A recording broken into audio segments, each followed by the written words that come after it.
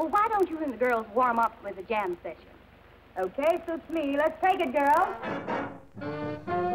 I knew I was going to play my trumpet some way.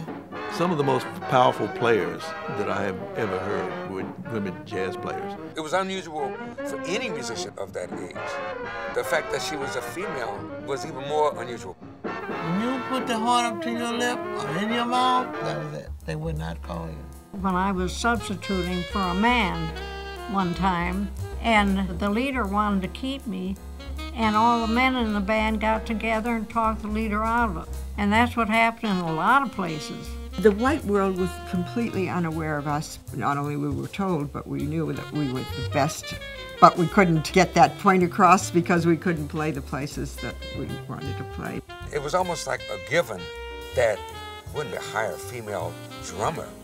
I did everything that I could possibly think to do to be a good player. And just because of, of my gender, to hear these dumb comments was so aggravating. Did you consider that you're working under a handicap to try to make a profession of being a jazz pianist as a woman? A journalist came over and he said, What's it like to be a woman composer? I said, What's it like to be a male journalist?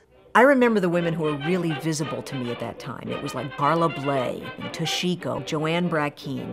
These were the women who I saw who were out there. She would write for Tommy Dorsey, Benny Goodman, or whomever. After she'd written it, pow, she went right back down. All the, the things I've done to get to where I am in the music, very little of it has had anything to do with being a woman.